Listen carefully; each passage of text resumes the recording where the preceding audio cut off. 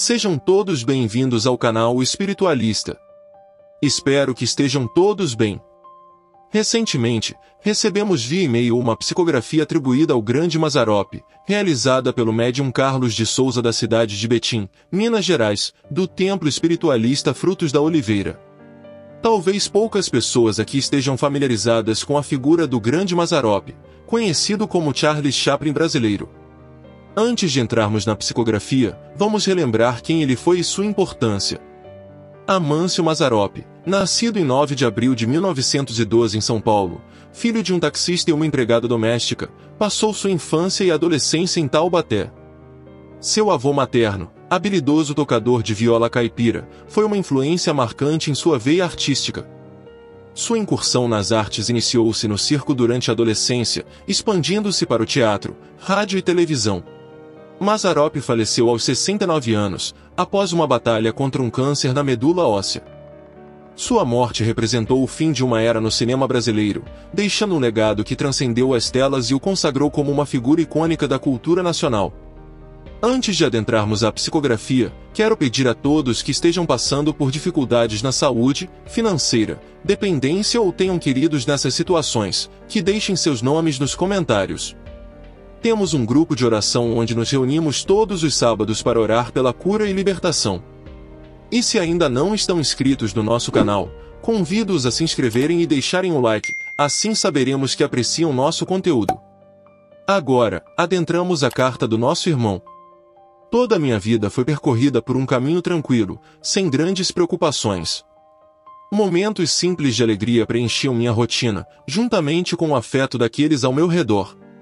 No entanto, em 13 de junho de 1981, meu destino tomou um rumo inesperado ao descobrir que estava enfrentando um câncer na medula óssea, uma jornada que se encerrou em apenas 26 dias. Meu tempo terreno chegou ao fim quando cruzei a fronteira para o outro lado da vida. Enfrentei inúmeras provações e desafios, elementos cruciais do meu contínuo aprendizado. De alguma forma, já pressentia que aquele dia seria o último em minha existência terrena. A capacidade de intuir esses momentos é notável, mesmo que por vezes cause apreensão.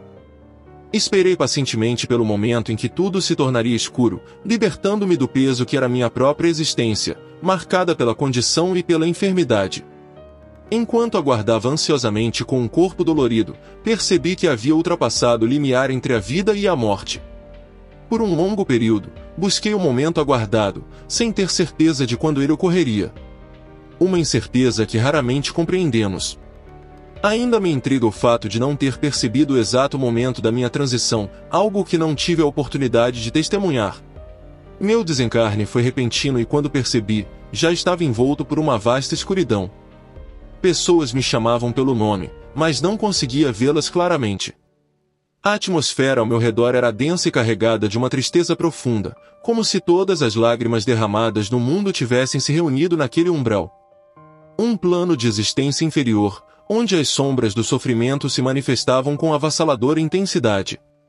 Naquele instante, a escuridão parecia consumir qualquer resquício de luz e esperança que ainda pudesse existir em mim. Minha consciência estava envolta em uma densa névoa, abraçada pela solidão. O impacto da minha nova realidade abalou minha essência, questionando-me como havia chegado a esse lugar desconhecido, tão distante da minha tranquila rotina. Sentia-me perdido em um labirinto de aflições, onde o eco do desespero se fazia ouvir a cada pensamento. Enquanto meus olhos se ajustavam à escuridão, percebi a presença de outras almas sofredoras. Suas vozes eram abafadas pelos gemidos e lamentos que ecoavam nesse limbo. Angústias e tormentos se entrelaçavam no ar, formando um emaranhado de emoções negativas. A sensação de estar aprisionado em um pesadelo sombrio e interminável era avassaladora. Sentia-me impotente diante da atmosfera carregada de tristeza e desesperança. Nesse momento, a percepção da minha própria vulnerabilidade tornou-se quase insuportável. Minha mente era um turbilhão de perguntas sem resposta. Como um homem comum, cujo propósito era trazer alegria e diversão através de seus filmes e personagens, havia chegado a esse abismo obscuro. Enquanto em vida procurei espalhar sorrisos, que destino cruel me aguardava. Minhas emoções se entrelaçavam em um caos de medo e incerteza. Desejava ardentemente encontrar uma luz capaz de dissipar aquelas trevas sufocantes. No meio da escuridão, já não sabia o que fazer ou para onde ir meus pensamentos se misturavam com as memórias da vida que deixei para trás.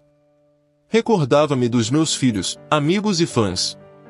A sensação de ter sido arrancado de tudo que conhecia e amava era devastadora. Meu coração latejava com saudades e ansiava pelos abraços calorosos e pelos sorrisos que iluminavam meus dias naquele lugar sombrio. E avancei sem rumo certo. Cada passo era uma luta contra o medo que me envolvia. A escuridão parecia tocar minha pele, penetrando em minha alma e trazendo à tona todas as minhas angústias mais profundas. Ansiava por uma luz, por um vislumbre de esperança no meio daquele mar de sombras enquanto vagueava. Sentia que aquele era um lugar de sofrimento intenso. Recordava-me dos ensinamentos religiosos que preconizavam uma boa morada para quem praticasse o bem e evitasse o mal.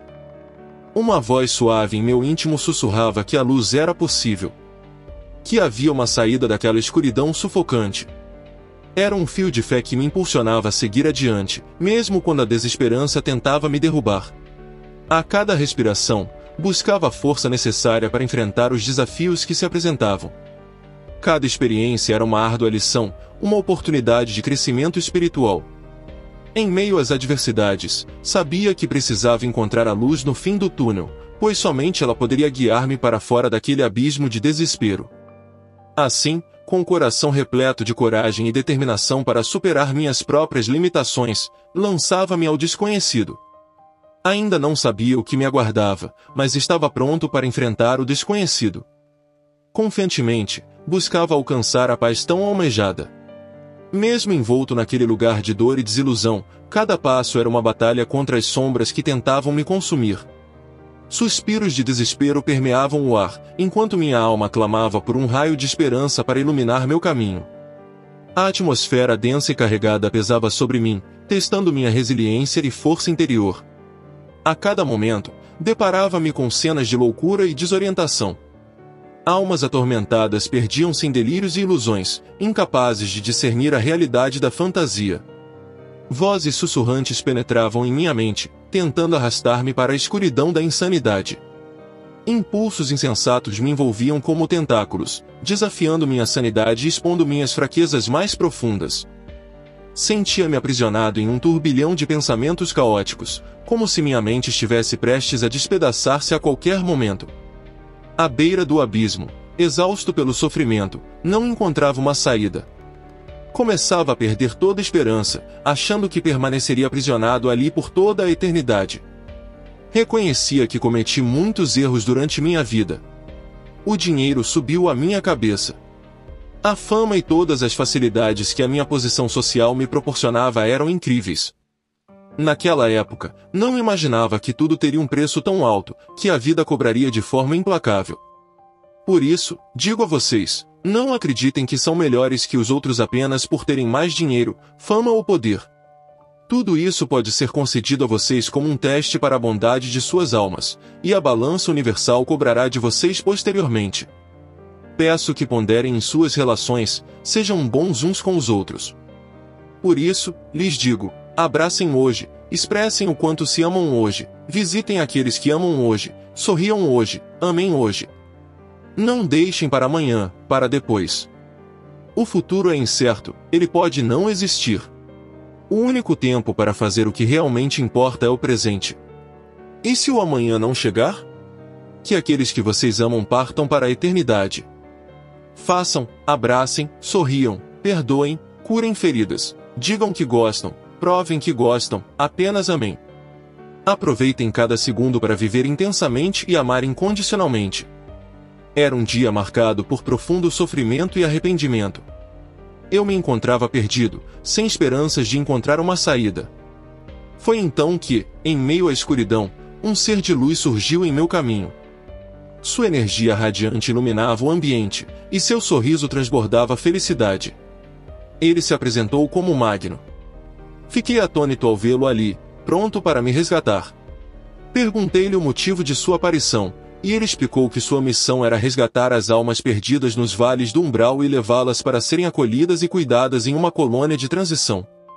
Sem hesitar, decidi acompanhá-lo, E nesse momento tudo mudou. Ao chegar na colônia, fui recebido com amor e cuidado. Acolheram-me como um irmão, e hoje estou empenhado em aprender e crescer nesse novo mundo. Ainda sou um simples aluno, mas desempenhei uma nobre função de cuidar dos irmãos recentemente encarnados, oferecendo-lhes auxílio e apoio.